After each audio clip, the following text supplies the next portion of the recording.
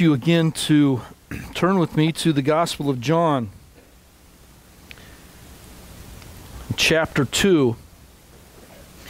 As we come to a close of John's account of Jesus' first week of ministry. This inaugural week of ministry, we notice, began back in chapter 1, verse 19, with John the Baptist's testimony of who Jesus was and from there, as we work through this chapter, we saw a series of the next day, verse 29. Then the next day, verse 35. Then again the next day in verse 43. Now, chapter 2 then is believed to, by some, be the seventh day of this week, and by others, it's believed to be the sixth day of this first week of Jesus' ministry really in the larger context of this gospel, we're in the body of it, which actually began back in verse 19. And this section is often referred to as the book of signs. It takes, it takes us all the way through the end of chapter 2. It's referred to as the book of signs because John, our author, has purposely chosen, I believe, seven different signs or miracles that Jesus performed publicly in his life and he chose these to record for us that, that these signs point us to the person and work of Jesus. Again, we have to keep in mind the, the greater purpose of John's writing this account found in chapter 20, verse 31. He says, But these are written so that you may believe that Jesus is the Christ, the Son of God, and that by believing you may have life in his name. The these in this verse is referring back to verse 30 when John says, Now Jesus did many other signs in the presence of the disciples, which are not written in this book. And so the these in verse 30, one is referring to the signs in verse 30. Now it should be obvious to us that by reading the first three gospel accounts that John does not record every miracle or sign that Jesus performed while he lived on this earth. Again, he stated that in verse 30. But John has hand selected these seven miracles or signs that he feels uh, do a wonderful job of pointing us to different aspects to the power, authority, and character and work of Jesus. So, in our passage this morning, we have the first sign this changing the water into wine at the wedding feast in Cana. The second sign is then found in chapter 4, verses 43 to 54, when Jesus heals the official's son. The third sign is recorded by John in the fifth chapter, when Jesus heals the man who'd been lame for 38 years. The fourth sign is in chapter 6 with the feeding of the 5,000. Now, there are some who will then add an eighth sign with the miracle of Jesus walking on the water. And it does certainly, this miracle does point to his authority and, and power. But I don't believe it's one of the seven signs that John wants to communicate to us because it's not done necessarily in public. So I'm, I'm not convinced it belongs in this list. The fifth sign is in chapter 9 when Jesus heals the blind man. The sixth is in chapter 11 when Jesus raises Lazarus from the dead. And now I, I, know I said that this section ends with the conclusion of chapter 12, and it does for the most part. But the seventh sign isn't until chapter 20 when Jesus is raised from the grave. He's brought out of the grave, raised from the dead, and many many, many people see him and witness that. Now, it's important that we understand that John uses a word here in verse 11 that translate that we translate sign or signs. Now, signs were certainly miraculous. There's no question of that. But this word that John uses points us to something a bit deeper, a, a bit broader, a bit beyond just the miracle itself. It's a word that goes beyond the act and points us to something much more significant. Points us to, or the point of Jesus' miracles are to communicate something about himself. It wasn't just for the awe or the show of power or the display of authority. These signs had a bigger purpose. They were done so that his glory might be revealed and made known to those whom he chose to reveal it to. John tells us of this conversation between Jesus and Nicodemus. In John 3 2, Nicodemus says, Rabbi, we know that you are a teacher come from God, for no one can do these signs that you, that you do unless God is with him. So even the religious leaders certainly understood that the work or these miracles of this man Jesus proved and confirmed that he was, at least in their eyes, sent from God. In chapter 731, we read, Yet many of the people believed in him. They said, When the Christ appears, will he do more signs than this man has done? See, the people knew and understood that the miracles of Jesus proved and confirmed who he truly was, the Messiah. In chapter 10, verse 25, we read, Jesus answered them, I told you, and you do not believe. The works that I do in my Father's name bear witness about me. See, Jesus himself even stated that his works, his miracles, were signs that revealed and proved and confirmed who he was, the Son of God. John has just told us at the end of chapter 1 of Jesus telling Nathanael that he and the other disciples will see heaven opened and the angels of God ascending and descending on the Son of Man. He says that the things of heaven were now going to be revealed through Jesus, the Son of Man. John has already portrayed Jesus as the Word.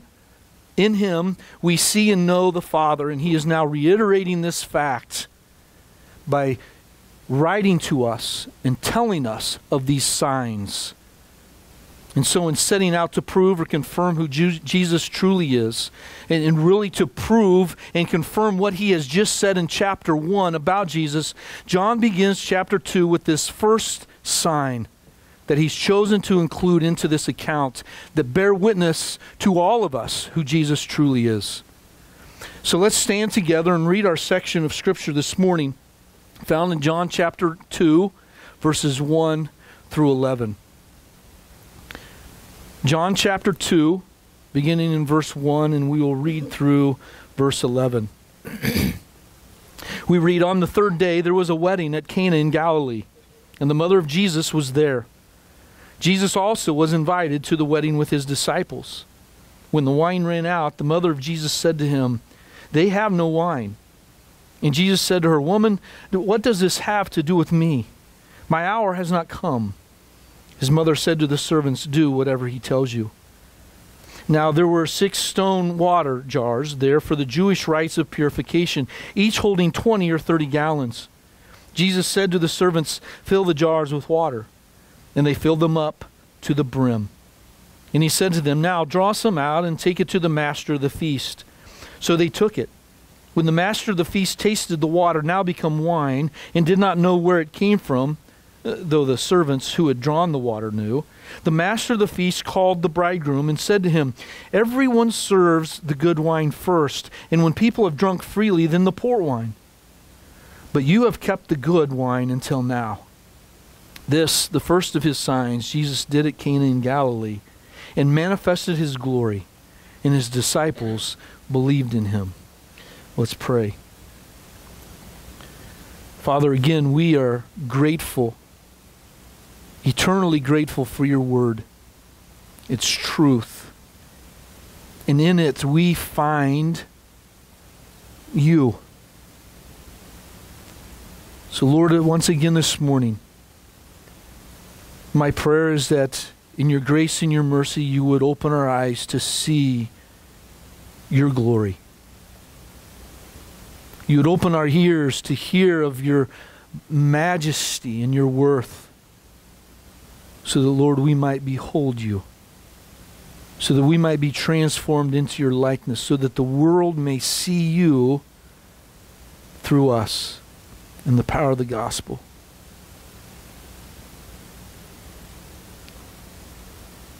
Lord, again, please do not allow any of my words to cloud the glory and the majesty of who you are. pray all of this in Jesus' name. Amen. May be seated. So we are told right off the bat that this event, this this wedding that we read of, was on the third day.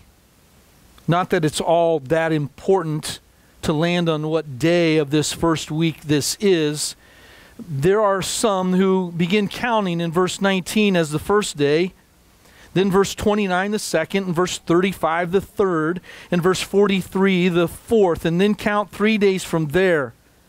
And now, this wedding, then, they understand is the seventh day of the week.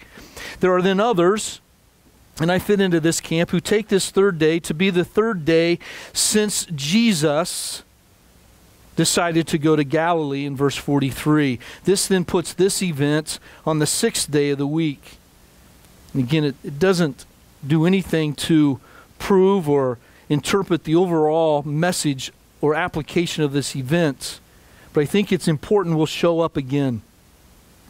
But regardless of which day it is, John begins with this first sign at a wedding in Cana in Galilee. There's a couple different Canas that we know of, but this one is probably about eight to nine miles north of Nazareth. Nazareth, again, in the land of Canaan or in the in Galilee.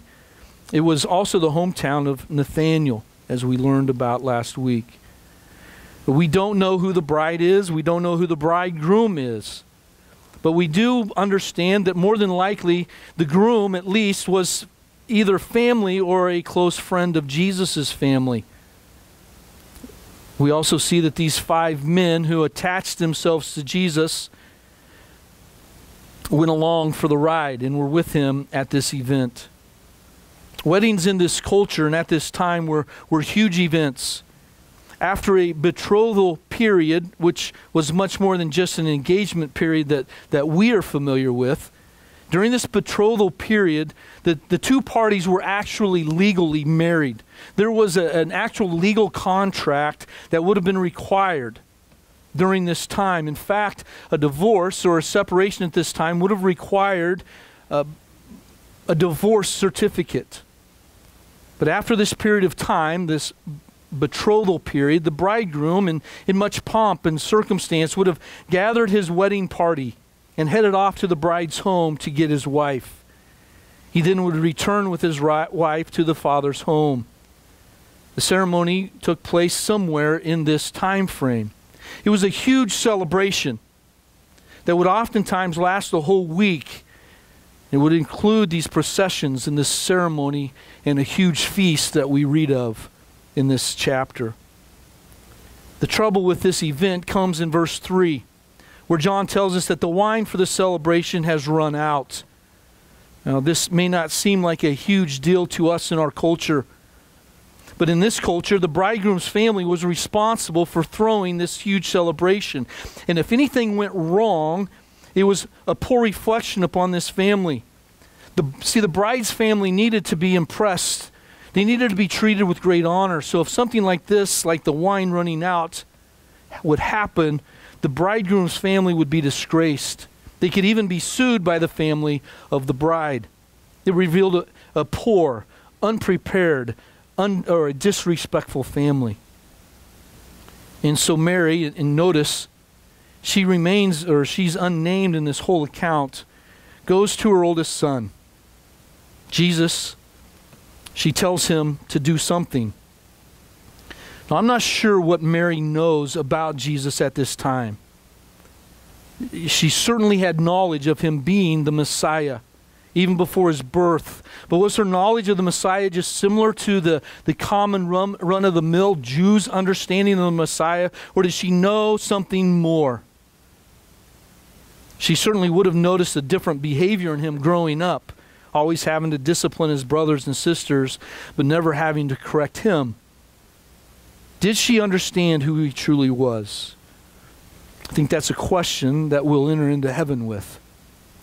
There are many who take this interaction between Mary and Jesus as Mary being the one who, who told Jesus to start his ministry. To let's get it going here, son. That she is the one who uh, told him what to do here this day. Don't think that that is necessarily the correct interpretation of this interaction. She is not at she's not the point of this narrative. In fact, keep in mind, she remains nameless. But I'm not sure if she was expecting Jesus to perform a miracle or if she was just uh, leaning on him to take some leadership, being the oldest. It's quite possible that Joseph had died by this time and Jesus was now head of the family. But there are a couple of different things I think need to be pointed out in this interaction between Jesus and his mother. They're not necessarily things that this miracle or sign point us to about Jesus, but John does put them in this narrative for a reason and for a purpose. So I want to just spend a few minutes looking at them. Again, Mary informs Jesus. She instructs Jesus that the wine had run out. The bridegroom's marriage, in a sense, is riding in the balance here. And she has given Jesus an opportunity to help out. And Jesus responds to Mary's instruction in this way He says, Woman, what does this have to do with me? My hour has not yet come. Now, at first glance, this, this interpretation, look, according to our culture, might look as if Jesus is being a bit disrespectful or impolite to his mom. But his term that he uses, that we translate woman, in the days of Jesus was, was not used as harsh or in a dishonoring way. It was used how we might use the word ma'am. It was a term of respect and honor. But again, notice all throughout this passage, the author John refers to Mary as Jesus' mother. Verse 1, verse 3, verse 5, and verse 12. Jesus, however, does not use this term mother, which should alert us to something that Jesus and the author are trying to tell us. Not many of us would call our mothers ma'am, or at least here in the north what is happening here, and we see it again while Jesus is on the cross as he addresses John and Mary. And in that moment, Jesus calls Mary this same word, woman. It is here at this time, I believe, for the first time, where Jesus begins to dis- distance himself from Mary in this earthly relationship. In fact, the NASB interprets this phrase as, What does this have to do with us? The LSB says, What do I have to do with you? See, Jesus is not now addressing the wine issue, but he's now addressing the relationship he and his mother now have. This relationship is no longer a mother son relationship. Jesus is now to become her head, and she is to become his servant. He is to lead, and she is to follow. She is to now be submissive to him. And Jesus points out, My hour has not yet come. John uses this term hour uh, generally to point us to the death of Jesus on the cross. And Jesus simply tells his mother that his time for his death, the time for the cross, has not arrived. The hour had not fully come, but the clock is now started ticking. The process has begun and his public ministry is being kicked off, and this will change the relationship between Jesus and this woman named Mary. She will need to come to a place where she believes who he truly is. See, Mary will need this hour to come just as much as the rest of mankind will. Mary will need the death of Jesus for her, for her eternity just as much as you and I do. And Jesus is now making this clear to her and helping her understand that I am much more than just your son. I am your Savior. Jesus was now no longer primarily the Son of Mary, he was the Son of God. The Son of Man who is now bringing the realities of heaven to the people on earth. And Mary should no longer presume she knows what all that entails. And we see this glorious movement in Mary. Notice Mary moves from giving instruction to Jesus, the wine is run out, to instructing others to do as Jesus says. She moves from the role of authority to the role of submission. What a wonderful picture of redemption. A wonderful example of what our role is in our relationship with this man. At the moment of our salvation, we too enter into a new relationship with him one where we submit to his authority and instruct others to do the same. And so, Jesus, knowing that the hour had not yet arrived. It was time, however, to get the ball rolling. And so now, in one single sign, he begins his public ministry that will eventually, some three years later, bring this hour to full fruition. But as we walk through the rest of these verses this morning, we're going to see five significant truths regarding Jesus and his ministry that this sign reveals about him. First of all, we see that he is the creator. In chapter 1, verse 3, John has already told us that all things were made through him, and without him was not anything made that was made. And this sign certainly does prove and affirm this statement that Jesus is creator. He is the agent that the Father used to bring all things into being. Jesus is the one who made something out of nothing. And this might be the most obvious point that John is trying to communicate. We see this sign point us to this truth about Jesus. First, we, we see that he is able to make something out of nothing. We just said. John points out that these, these water jars were filled to the brim with water. There was no room in them for someone to pour anything else in them. They were once water, and at some point before, between verse 8 and verse 9, they were filled with wine. There's no natural explanation as to what had happened. We also see that Jesus is not limited in the quantity of his power and authority over all things in creating. All things that were made were made through him. Because of the translation of this volume that we are given in our passages, that John tells us of here, it's, it's estimated that there was anywhere between 120 to 180 gallons of wine created that day by Jesus. This amount would have been impressive for any wedding feast, and this would have certainly reflected well upon the bridegroom and his family. But we know and we understand and we believe that what Jesus does is never lacking. It is always in abundance, it is always more than what we need.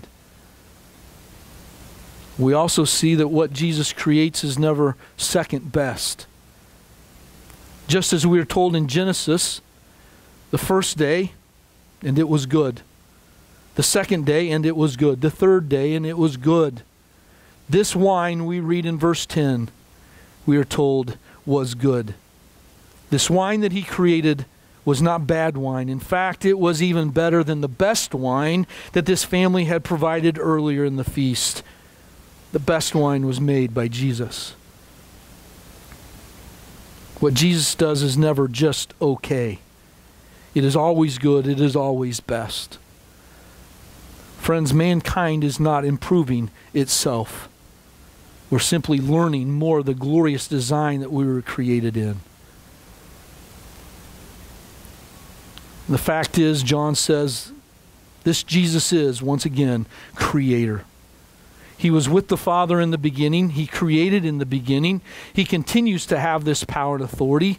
This man is the Son of God. This man is God. Water to wine, empty jars to full jars of wine, more than enough wine, the best wine, wine that was for the good of those there that day for the feast. Jesus is Creator. This sign does point us to this truth. And we certainly can't miss these points.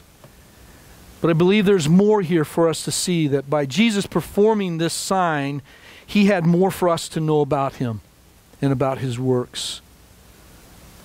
So, in addition to understanding the creative power and authority of Jesus, we see that he also has transforming power and authority. Look at verse 6. John now begins to tell us of this sign.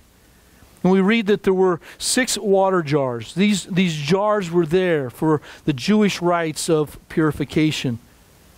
These jars would have once held water that was used so that the guests of this wedding would be able to wash their hands before they ate this feast. Mark helps us understand the purpose of these jars in this water in Mark 7, verses 1 through 5. Mark writes Now, when the Pharisees gathered to him with some of the scribes who had come from Jerusalem, they saw that some of his disciples ate with hands that were defiled, that is, unwashed. uh, for the Pharisees and all the Jews do not eat unless they wash their hands properly, holding to the tradition of the elders. And when they come from the marketplace, they do not eat unless they wash. And there are many other traditions that they observe, such as the washing of cups and pots and copper vessels and dining couches. And the Pharisees and the scribes asked him, Why do your disciples not walk according to the tradition of the elders, but eat with defiled hands? We, we, twice in this, in this passage, Mark points us to an interesting fact. He refers to this practice of washing and purification as a tradition of elders. I'm not aware of anywhere in, in the Old Testament or in the law where this practice was commanded by God.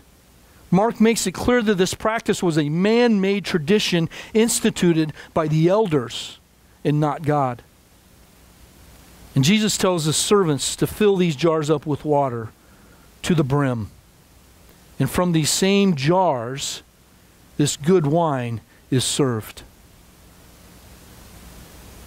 See, it's in this sign we see the transforming power of Jesus. He takes the empty, dead, works based, ceremonial, ritualistic religion of Judaism and trans- transforms it into the fruitful, life giving relationship of Christianity. He takes the law and makes it grace. He takes man's efforts to attain purity and does it for them. He takes the burden of performance and makes it the celebration of faith and grace.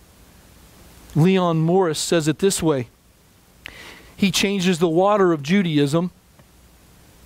There it is. He changes the water of Judaism into the wine of Christianity, the water of Christlessness into the wine of or the richness and the fullness of eternal life in Christ, the water of the law into the wine of the gospel. Water you wash your hands with, into wine you drink. The external into the internal. The old into the new. The water of purification has been replaced. It has been transformed into the wine of the new, and this wine is good, and it flows freely, and it produces joy and celebration. And this is what Jesus is telling us in Mark 2, verse 22. And no one puts new wine into old wineskins. If he does, the wine will burst the skins, and the wine is destroyed, and so are the skins. But new wine is for fresh wineskins. This is Paul's testimony. Turn with me to Philippians. Philippians chapter 3.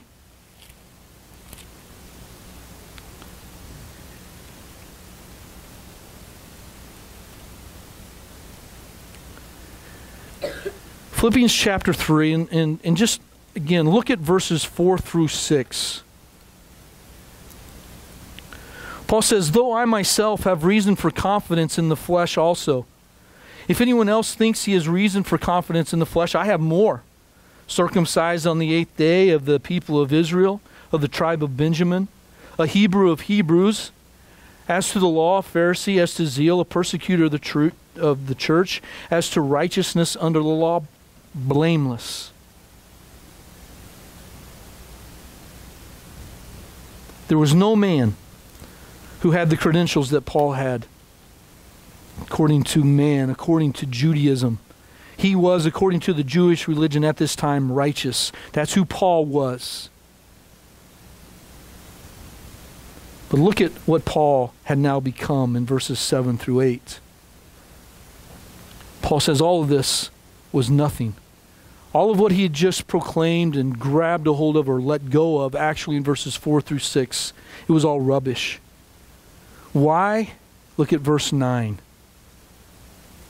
And be found in him, not having a righteousness of my own that comes from the law, but that which comes through faith in Christ, the righteousness from God that depends on faith.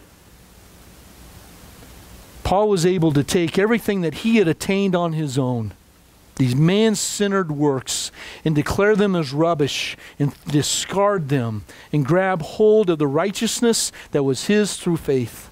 Works versus faith, man centered rubbish versus Christ's obedience, Christ's righteousness.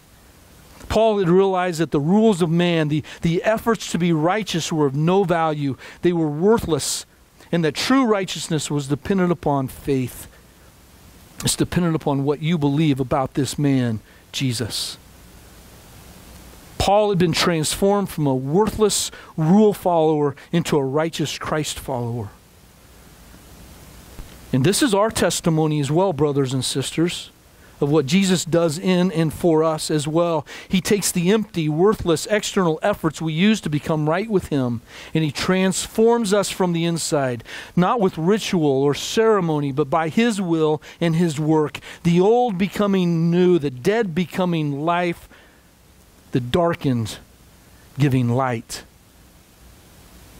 John told us in chapter 1, verse 13, that this is not by blood. Makes no difference who your father is, nor the will of flesh, nor the will of man, but by God. Jesus has come. God has come, and he has come to transform a people for his glory. No longer men and women who are trying to look a certain way on the outside without change on the inside. Men and women who are no longer trying to earn God's favor, but who are given it freely and without measure. Men and women who are no longer attempting to purify themselves, but who drink from the fruit of Jesus' purity, and who now, like Mary, can and do say, Do whatever he tells you to. Jesus is the transformer. Number three, we also see this points us to the fact that he is the true Messiah. And this Messiah is more than just a man who came to free Israel from Rome. This man didn't come to overthrow the Romans.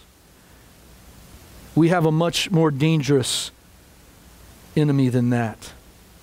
He came to defeat sin, death, and Satan. He came to transform a people for himself. Again, these men and women, these Jews had a shallow and faulty view of what the Messiah was coming for. And John is beginning to help the reader understand not just the fact that Jesus was the Messiah, but what the Messiah was truly needed for. One thing we need to be careful of is not to, when we look at these signs, is not to make too much of them not to take too many liberties in assigning what the sign points to. One can get a bit out of control or out of balance when he or she does this, and it can lead to some rather problematic theology. Scripture must help us rein us in and keep us in on this. But here I want to draw your attention back to the wine. And not just the wine, but the abundant quantity of it. Jesus is not communicating that as creator, he creates abundantly. He's not just communicating that. We read in the Old Testament, and particularly the prophets, that one of the indicators of the coming Messiah in his kingdom is, is that of prosperity. Not a, a frivolous wealth, but of abundant provision. And this is given to us in, in, in many different ways. But in several places, it it's given to us in the picture of wine flowing and being readily available. In Joel 2, verses 18 to 24, we read Then the Lord became jealous for his land and had pity on his people. The Lord answered and said to his people, Behold, I am sending to you grain, wine, and oil, and you will be satisfied, and I will no more make you a reproach among the nations. I will remove the northerner from you and drive him into a parched and desolate land, his vanguard into the eastern sea, and his rear guard into the western sea. The stench and foul smell of him will rise, for he has done great things. Fear not, O land, be glad and rejoice, for the Lord has done great things. Fear not, you beasts of the field, for the pastures of the wilderness are green. The trees bear its fruit, the fig tree and vine give their full yield. Be glad, O children of Zion, and rejoice in the Lord your God, for he has given the early rain for your vindication. He has poured down for you the abundant rain. The early and latter rain is before. The threshing floors will be full of grain. The vats shall overflow with wine and oil. Similar statement in chapter 3, verse 18. Amos chapter 9, verses 13 to 15, we read of the similar uh, picture of the Messiah and his kingdom coming. Great prosperity, and one of those pictures is wine flowing freely and abundantly. In each one of these prophetic promises of the messianic kingdom, wine is described as being abundant, pointing us to the fact that there will be both spiritual prosperity and great provision. There will be no, no need. There will be more than 120 to 180 gallons of wine. I believe that this miracle points us to the fact that Jesus is the Messiah. He is the King, the Son of David, whom this people knew was coming and were waiting for. And with the King comes his kingdom.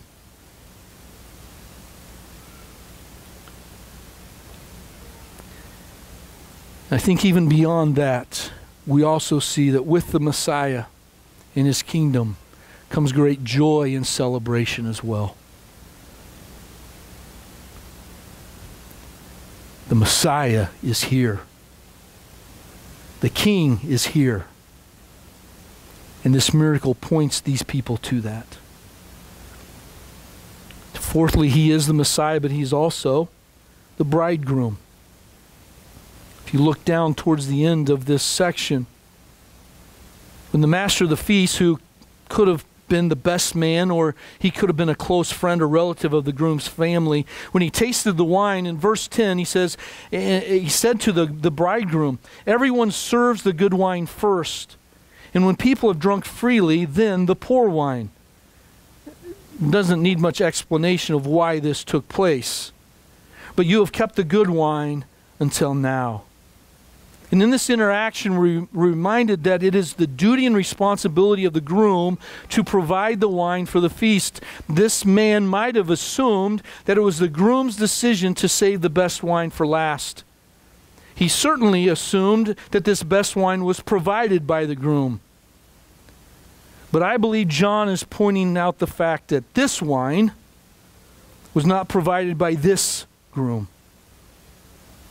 but is provided by another groom, the bridegroom. John uses the same analogy in chapter 3, verse 29, as he quotes John the Baptist, who says, The one who has the bride is the bridegroom. The friend of the bridegroom who stands and hears him rejoices greatly at the bridegroom's voice. Therefore, this joy of mine is now complete. John, as we will see in chapter 14, 1 through 4 says uh, Jesus, he records these words of Jesus as he speaks to his disciples the night of his arrest. He says, Let not your hearts be troubled. Believe in God, believe also in me.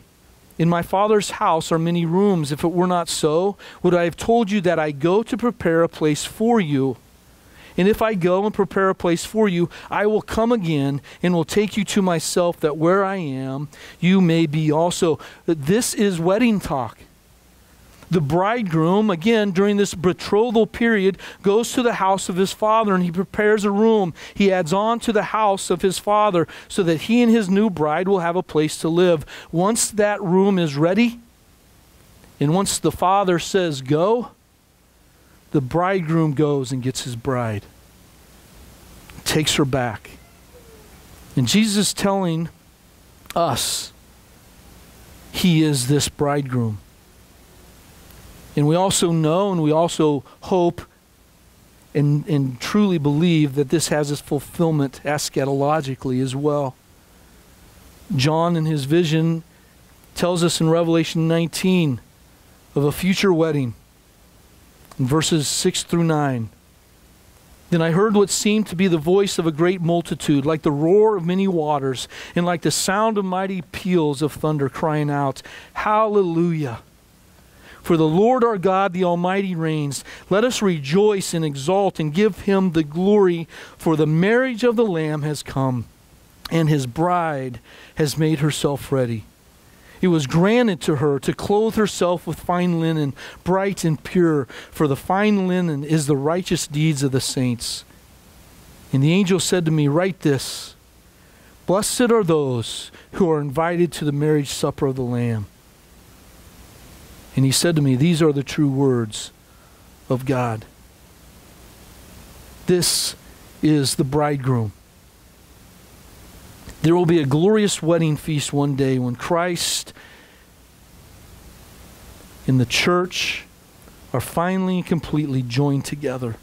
The Lamb of God takes those for whom he died into his Father's house for all eternity. Jesus is our bridegroom.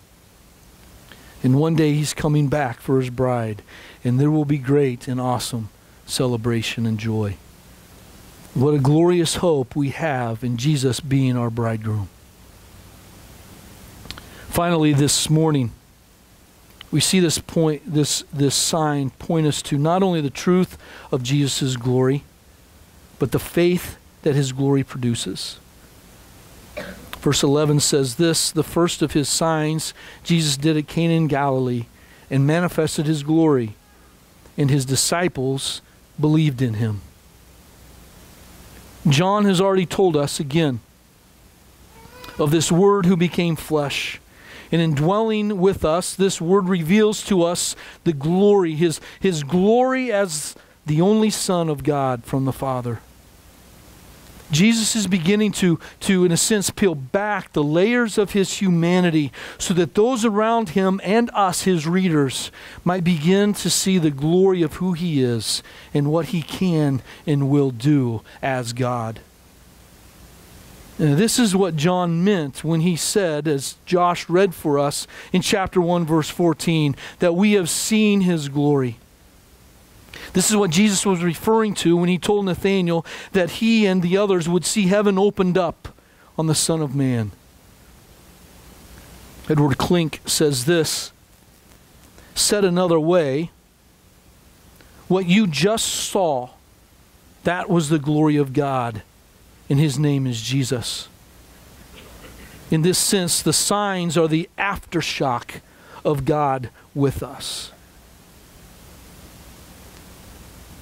And we see the purpose of these signs in this account fulfilled in this response of his disciples. They believed. See, please notice that it was not the sign that they confessed, it was the one whom the sign pointed to. These five disciples already had some sort of knowledge that Jesus was special. They were following him. They had left John the Baptist to follow this man. Andrew had already acknowledged that Jesus was the Messiah. But now they were coming face to face with his glory. They were coming face to face with the truth of who he truly was. So John says they believed. So, what about all the others who were there that would have seen this miracle? The master of the feast, the bridegroom, the bride, both families of all the friends, Jesus' brothers. We're not told that they believed. In fact, we know that his brothers didn't believe at this point in time. But to those who saw this glory, to those whom it was revealed to, they are the ones who responded in faith. Those who only see the miracle and miss the man, they miss the very truth that would have given them life.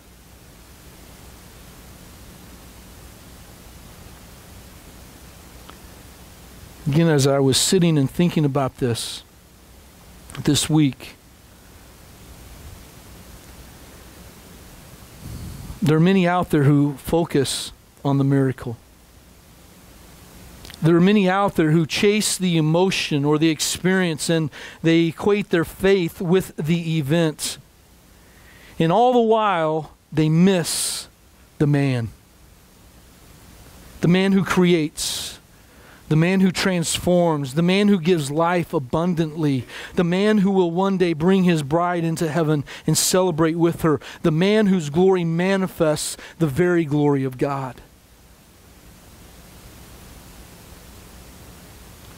But it isn't just those who seek the spectacular or those who seek the miraculous that can miss this man either. There are those of us who have to be careful that we don't miss him through doctrine. We may want to know and learn and be able to lead and teach and have all this knowledge. But even in the midst of all of this glorious truth and doctrine about this man, we miss who this is about. We miss the man who this doctrine is pointing us to. We can oftentimes miss this man in the midst of our spiritual disciplines. You can be in church every time the doors are open. You can read and pray and witness and give and visit widows and orphans and miss this man. We're told by Jesus himself a group of people come to him. But Lord, didn't we do this and this and this and this and this? And he says, Depart from me, I never knew you. These things are only tools to know and serve Him. They are not, they cannot be the ends. They are only means to the end of knowing this man. And we can miss the man amidst the very blessings that He gives us family, creation, friends.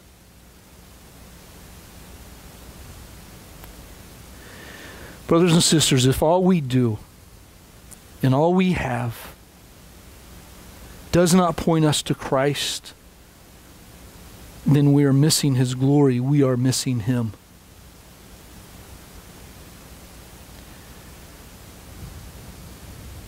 Be impressed with the power and authority of Jesus.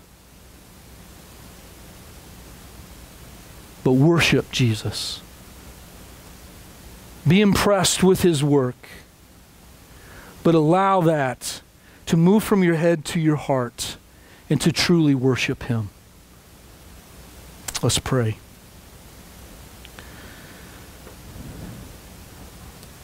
Father, thank you for these glorious truths. As we continue to learn and deepen our understanding more and more of who you are, Lord, help this to not just be information facts, knowledge. But may all of this lead us to a life lived for you, a life of worship of who you are and what you've done, a life of a pursuit of a relationship with you. Pray all of this in Jesus' name. Amen.